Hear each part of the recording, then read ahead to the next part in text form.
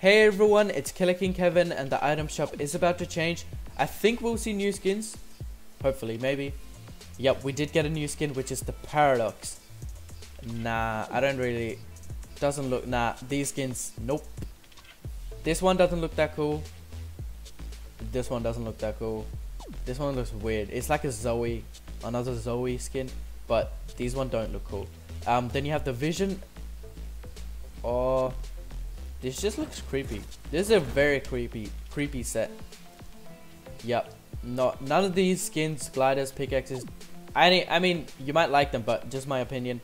I guess the glider and the pickaxe, but the skins are not not that good. And then you have the Grill Sergeant, Riot Skin, Cloud Strike, Smooth Moves, Crazy Free, and Victory Lap. So these are the new skins. Let me know if you buy it. Um, I think, nah, I don't, I don't think I'll be buying any. But let me know in the comment section below if you do buy it. So I hope this video does help. Hope you guys enjoyed, and I'll see you in the next video.